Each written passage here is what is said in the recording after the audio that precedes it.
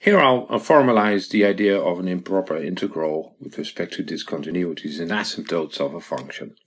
So suppose we know that for t smaller than b, the integral t till b fx dx exists for t larger than a number a.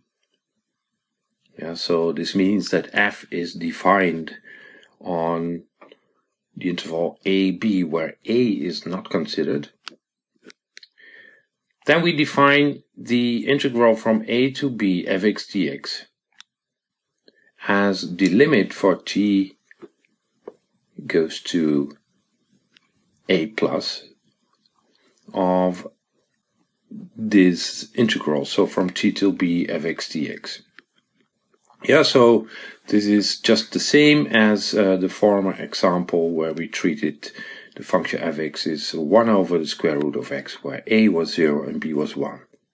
Now, we also can do the kind of dual procedure, right? So it was not typical that the left endpoint did not belong to the domain of the function, but sometimes also we have the similar thing on the right hand side. So Suppose that the integral from a to b of a to t fx dx exists for all t smaller than b.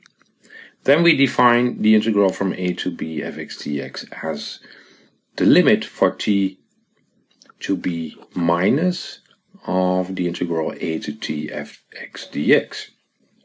Yeah, so we basically take a limit where the upper integration boundary closes in on b from the left.